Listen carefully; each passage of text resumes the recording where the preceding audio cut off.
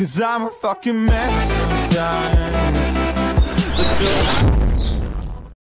Fala galerinha do meu canal, e aí, tudo beleza?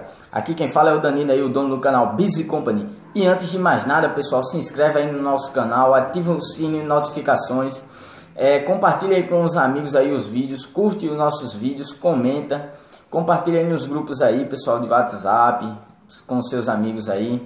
E desde já quero agradecer aí aos 74 inscritos aí do canal.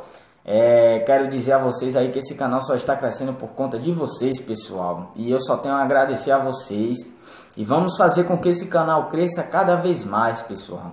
É, hoje eu vou estar falando aí, galera, sobre algumas coisas que fazem a sua ave travar o canto ou, ou que fazem ela ficar com medo.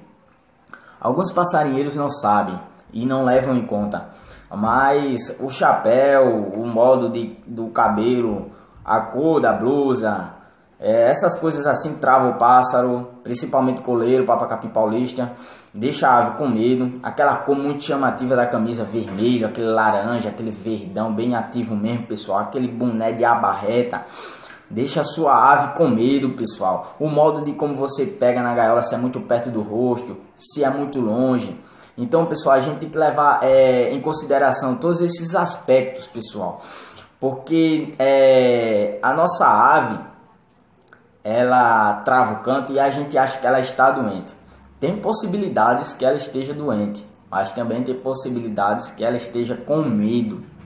E isso é um, um fato que não acontece é, só com o coleiro, só com o papacapi paulista Acontece com todos, todas as aves, pessoal. A ave era criada de uma forma com o ex-criador e agora está sendo criada comigo de outra forma. Isso também influencia. Desde a hora que você acorda para sair com a ave até a alimentação que você está ministrando para a sua ave. Quero falar também, pessoal, hoje sobre isso aqui, ó. O porta sementeira, pessoal. Porta cemitério aí. Você coloca aí sua braquiária, seu mian, sua marmelada aí. Pessoal, é, esse porta cemitério, eu quero deixar bem claro aí, uma observação bem clara. O porta cemitério, pessoal, ele é para ser usado fora da gaiola. No externo da gaiola, não no interno.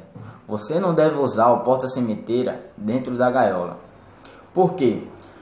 Porque você vai colocar a semente, seu pássaro, sua ave vai comer toda a semente e vai chegar, e vai chegar uma hora que sua ave vai estar curiosa e vai querer começar a bicar, a botar a cabeça aqui dentro.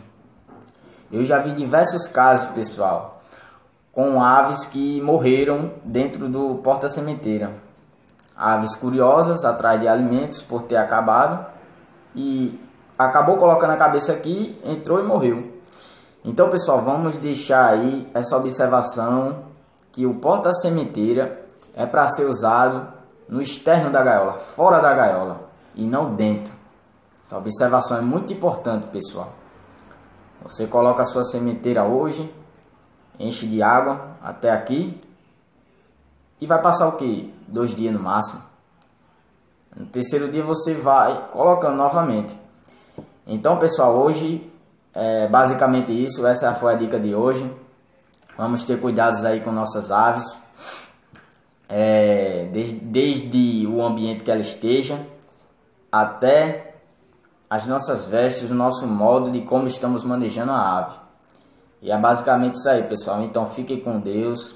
Deus abençoe vocês e suas aves. Tamo junto e até o próximo vídeo, galera. Compartilha aí com o pessoal. Valeu!